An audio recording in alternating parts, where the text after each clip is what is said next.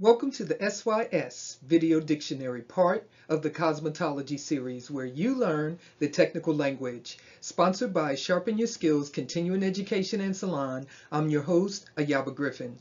And today's technical term is endocrine glands, also known as ductless glands, glands such as the thyroid and pituitary gland that release hormonal secretions directly into the bloodstream.